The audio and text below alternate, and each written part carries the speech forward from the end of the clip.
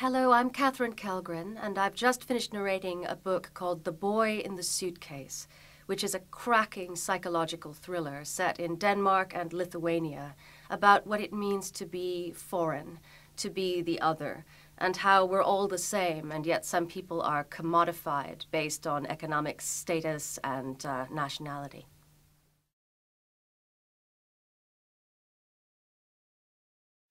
I love this book. I thought it was incredibly suspenseful. I was gasping so much at the end when I was reading it at home um, that my husband came into the room and asked me if there was something wrong with me. Um, it was very exciting. Uh, it's also very touching.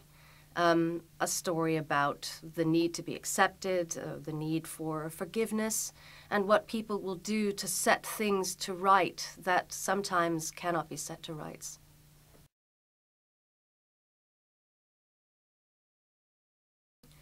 Well, it was a very difficult book to research um, because there was a lot of Danish and Lithuanian language in it, as well as some Russian, Swedish, and Polish. Um, it took me a couple of days trying to get all the Danish and Lithuanian together. Uh, there was so much of it that I ended up having to get recordings of it all. Um, you can see there on my iPad there's something like 145 different words, and these are all individual sound files that I created of people, native speakers, speaking the words so that I could copy them when I was in the studio. Uh, let's see if I can find something. Um, let's see, here's a Danish word. Page 40, Nyrupsgade. Nyrupsgade. You can get the idea. There are 145 of those, both in Danish and Lithuanian.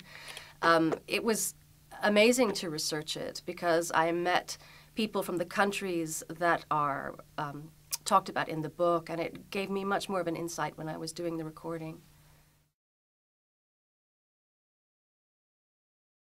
I would absolutely recommend this to listen to. I hope I did a good job, um, but I think it's I think it's one of the best thrillers that I've ever read. I really enjoyed reading it.